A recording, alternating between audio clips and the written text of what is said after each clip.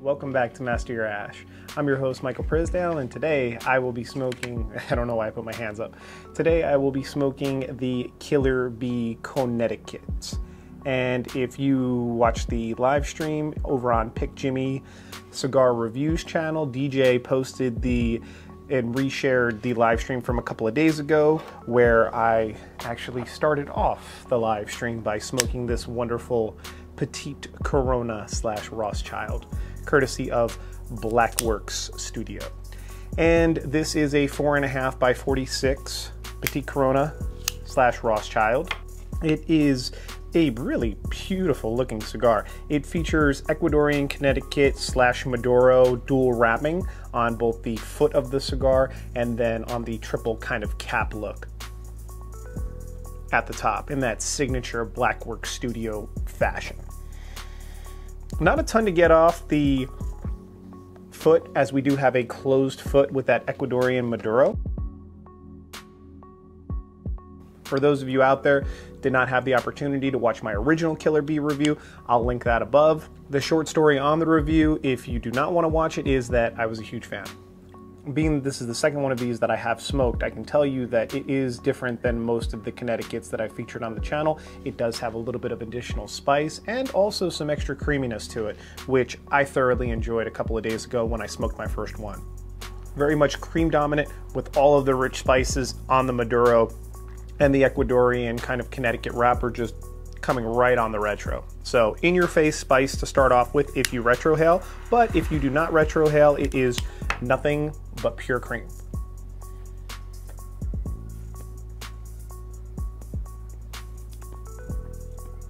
Yeah, the the blowing out a little bit of smoke and then retrohaling, you're just like, whoa. to the point where you can your eyes are watering, you can feel the black pepper all over your olfactory senses, and it's just wow.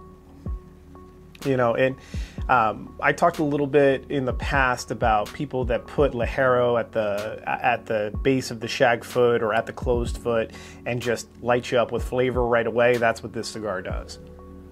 Whether it's Ligero or whether it's just Ecuadorian Maduro tobacco that they put on the foot of that cigar, it just lights you up immediately.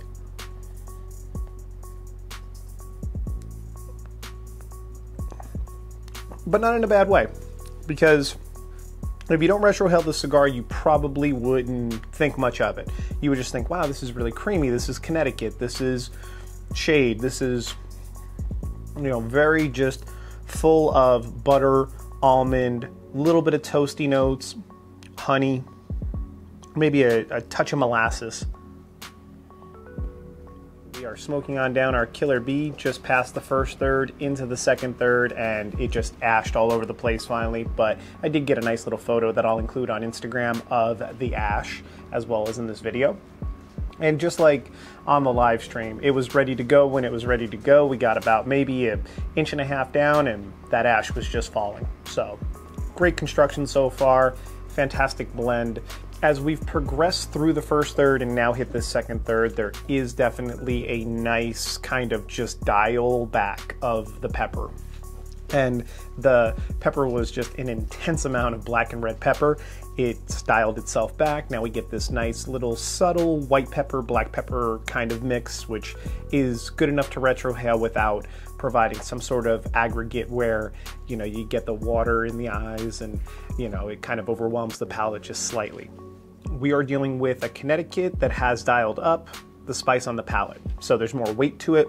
The finish is a little bit longer. It's almost as if you took, and I know that in the original Killer Bee review that I did, I talked about sakes and I talked about umeshu and I talked about all of these great Japanese made spirits and products. Well, not just Japanese, but Asian made spirits and products coming from Asia that I thought would pair well with that original Killer Bee. A lot of sakes, right, are fortified with additional alcohol to raise up the alcohol by volume, allow them to be a little bit heavier on the palate, and allow them to kind of create a longer finish.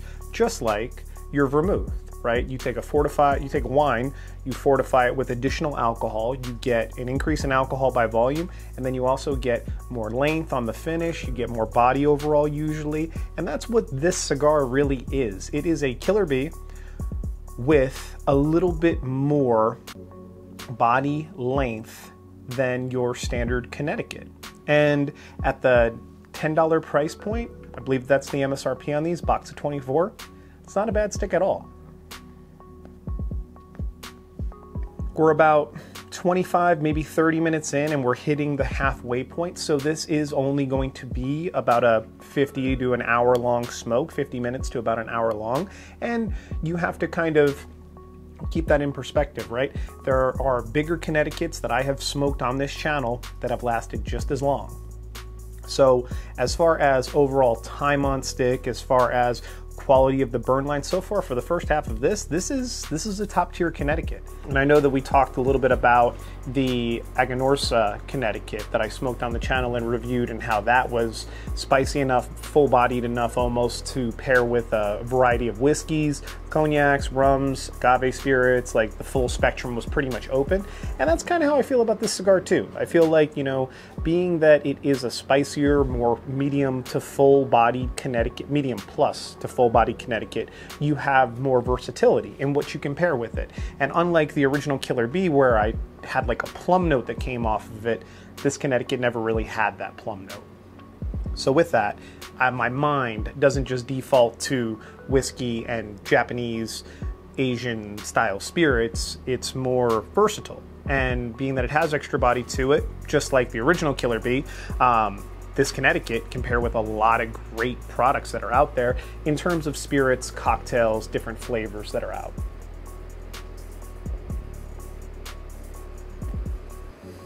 But yeah, the spice is great. It's if you're not a seasoned smoker and you're not retrohaling, it's very mild on the palate. But if you are retrohaling and you are a seasoned smoker, this is going to be kind of overwhelming at times to you. So I think that at $10, it's worthy of a try. I would definitely love to maybe grab a couple, like in a five pack, and just set that off to the side and see kind of how they develop over time.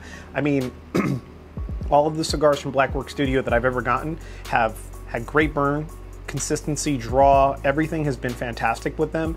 And I don't think that there's really much that you're going to age into this cigar blend. I think that they are there to smoke as soon as they ship, and they're always ready to smoke as soon as they ship. So I don't think that there's anything that has to be overcome with it. I would just like to see if the spice holds up a year or two down the road.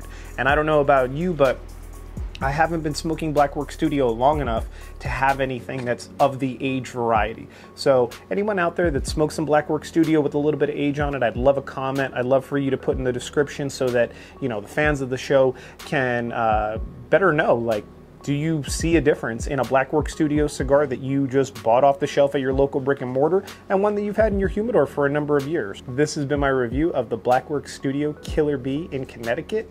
Petite Robusto. Thank you all so much for watching, liking, commenting, subscribing, and continuing to grow this community. We keep on going up and up, and I'm looking forward to what the future holds here in October, and uh, we're going to have some fun this Halloween for sure.